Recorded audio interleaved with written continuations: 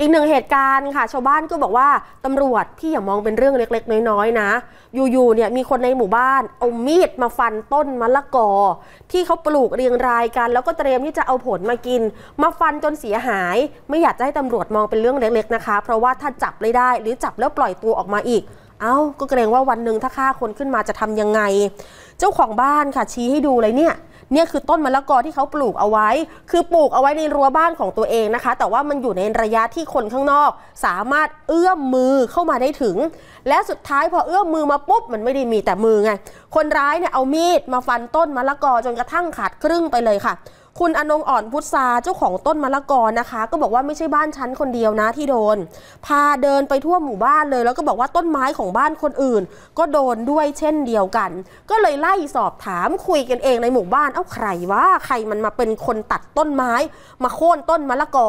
สอบถามจนได้ความว่าคนก่อเหตุคือในศักดิ์อายุประมาณ 40 ปี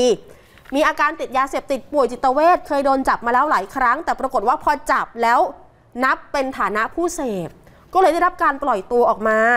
แต่ไม่ได้รับการบำบัดรักษาจนกระทั่งอาการหนักขึ้นนะคะ เริ่มเอามีดไปฟันข้าวของฟันต้นไม้ทำลายทรัพย์สินของคนอื่น ก็อยากให้ตำรวจช่วยติดตามตัวมาดำเนินคดีหน่อย ส่วนทางกำนันตำบลสันทรายงามในพื้นที่จังหวัดเชียงราย คุณสว่างบุญเรืองบอกว่า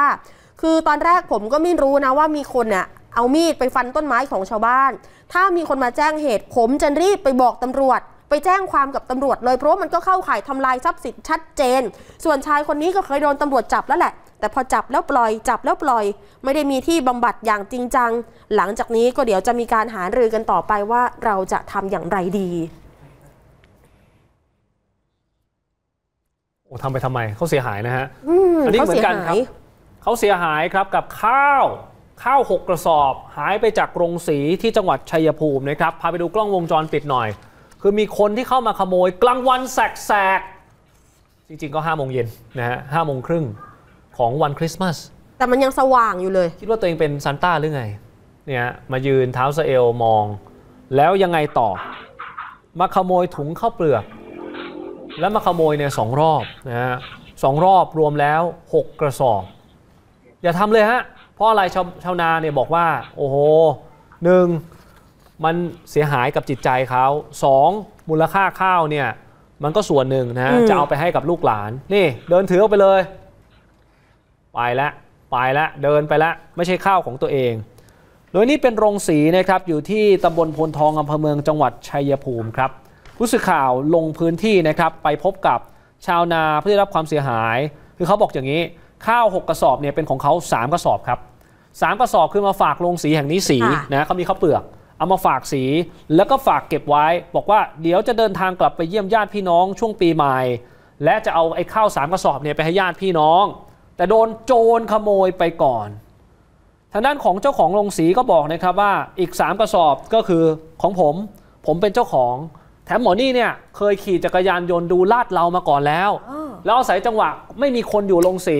ก็เลยมาซะเลยแล้วมาแบบใจเย็นด้วยนะ หิ้วไปสองรอบได้ไปเลย 6 กระสอบ ฝากบอกนะครับว่าอย่าทำเพราะหนึ่งชาวนามันเสียหายกับจิตใจกว่าเขาจะเก็บเกี่ยวเข้าวได้ ประเด็นต่อมาก็คือที่นี่เขาทำนาปีฮะทำแค่ปีละครั้งค่ะผลผลิตก็ออกมาไม่เยอะ และจะเอาข้าวเนี่ยไปให้กับญาติพี่น้อง แถมที่จะเอาไปขายเนี่ยราคามันก็ตกต่ำอยู่แล้ว เหมือนมาซ้ำเติมชาวนาเข้าไปใหญ่ ฟังเสียงเจ้าของโรงสีหน่อยนะครับ นะครับ ก็เอาข้าวมาฝากให้สีให้เมื่อวันที่ 25 แต่พอสีแล้ววันที่ 26 เช้าเนี่ย เพื่อนก็มาเข้ามาเอานะครับพอประสิทธิ์ก็เข้ามาเอา ก็มาถามหาข้าวเอ่อปรากฏว่าข้าวเพื่อนเอามาอยู่ 4 กระสอบ แต่เห็นอยู่กระสอบเดียวก็เข้าใจว่าเอ่อเอาให้ให้ลูกหลานให้ใครมารับไปก่อนหรือเปล่าอะไรเงี้ยเขาเลยวิ่งไปสอบถามสุดท้ายยังไม่มีใครมารับ เราเองก็ต้องไปเปิดกล้องครับวงจรปิดย้อนหลังเพื่อดูว่าเอ้ยใครเข้ามาบังเอิญว่ามันเป็นคนที่เป็นคนต่างถิ่นนะลักษณะเข้ามาเอาลักษณะยังไงครับเป็นก็ก็สูงประมาณร้อยหกสิบนะร้อยหกสิบแล้วก็เขาใส่หมวกอะนะเขาเขาใส่หมวกปิดแมสดำเข้ามาเอ่อขี่เทน่าสีแดงโอ้เข้ามาเอาก็จอดอยู่ข้างหน้านี่แหละจอดอยู่ข้างหน้าแล้วก็ยกข้าวออกไปแล้วก็ก็ขับหนีออกไป นะครับก็ประมาณนี้แหละเราก็ต้องมาสีข้าวชดใช้ให้ตามนี้ก็เล็งไว้ชัดเจนครับ มีการมาดูลาดเราก่อนนะครับ และไปแจ้งความกับตำรวจสพเมืองชัยภูมินะครับ ซึ่งตำรวจก็ลงพื้นที่เก็บหลักฐาน เตรียมไล่ล่าโจรขโมยข้าวคนนี้ต่อครับ ค่ะ